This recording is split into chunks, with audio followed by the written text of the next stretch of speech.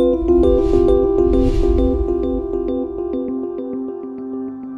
guys, Roll from Simple Wi-Fi here and today we are going to be testing antennas. Uh, a lot of people don't know this but a Simple Wi-Fi is actually a subsidiary of Antenna World located in Miami. We're an R&D lab, we design a lot of the antennas that you guys love.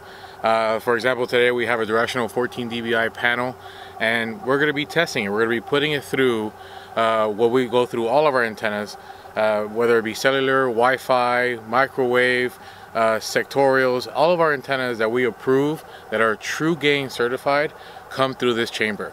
And uh, the 14 dBi panel right now is set it on the on the rotating motor. Uh, at the very end, we have a signal that's going to be beaming at the antenna. And while this antenna is spinning, we're going to be getting a pattern on our monitor showing exactly what the antenna is doing, where the antenna is pointing when it's turned on, and what kind of signal gain you can expect. Alright, so we've got the 14 dBi panel set up and we're going to be watching the monitor for the signal pattern to come through. What we're going to be looking for is a 14 dBi rating uh, between the minus 35 and the positive 36 down the middle of the screen in the monitor. Uh, this is going to be the main lobe of the antenna. So uh, this is going to be the furthest reaching point anywhere uh, inside the the signal pattern that you see coming up uh, these little side lobes you are still going to get signal off to the side and maybe sometimes even directly behind it if you're close by. But right down the middle uh, this far reaching lobe this is where you're going to get the most directionality of the antenna. Uh, this is what gets you the miles of range and uh, what's going to allow you to be further and further away from your hotspot or from whatever you're trying to do with the antenna. Uh, so long as you're inside one of these lobes, you can expect a good signal. Again, this is up to 14 dBi uh, between the minus 35 and positive 36. So that's why we say this has a 36 degree radiation cone.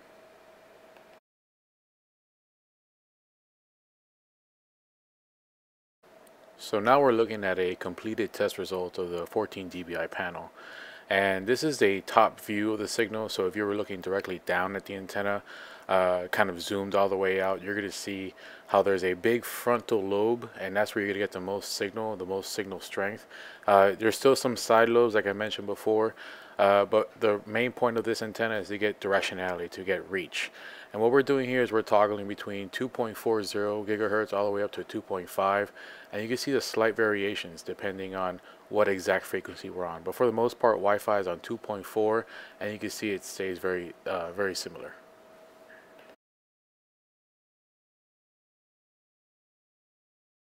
Okay, so now we're looking at the 14 dBi directional Yagis that we've got set up in the chamber.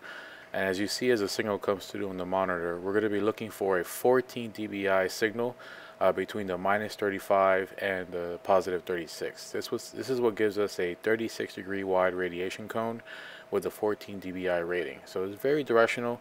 Again, just like the panel, very similar, just a different design.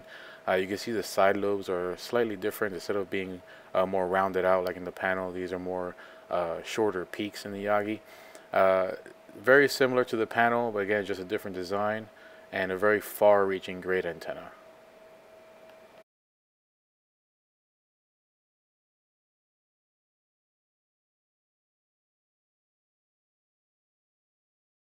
Okay, so now we're looking at a completed test result of the 14 dBi Yagi. Uh, same overhead view, and what we're looking for is a forward signal. So all the signal is being reshaped uh, out in front of it. So there is some leakage out to the to the sides and to the back, like we mentioned before. Uh, if you're close enough to this antenna, you can get some signal uh, in a 360. But this is really a directional antenna. We're looking for that far-reaching frontal lobe where all the energy of the antenna is being forced out in front of it. That's what gives it the reach. And again, we're toggling here between 2.40 all the way to 2.5, uh, showing the slight variations in frequency on the Wi-Fi band.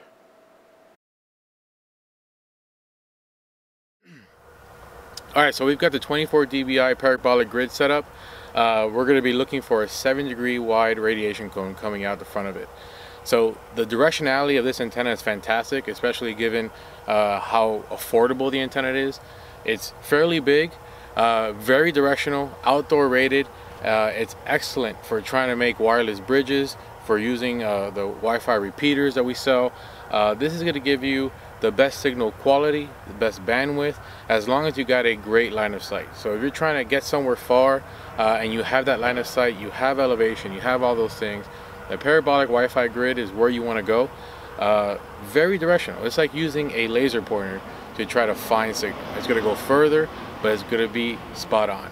If you're not within that signal pattern, you're not going to see any usable internet. Keep that in mind. Okay, so now we're looking at a top view of a completed radiation pattern for the 24 dBi parabolic grid. And I'm showing you this image just because we're trying to protect some of our intellectual property on the radiation patterns. But the idea here is to see how narrow and focused the frontal lobe of the directional grid is. Just 7.82 degrees wide. So all of this radiation, all this um, energy is coming out of the antenna directly in front of it. Now, hardly anything is wasted out to the sides and nothing at all from behind it. It's all very focused out in front of it. Uh, this is why it's such a far-reaching antenna, why it does so well. Uh, it also is very difficult to aim, so if you're not within that radiation pattern of just 7.82 degrees, you're not going to see any signal. But the trade-off is very far-reaching, higher speeds, and much higher bandwidth.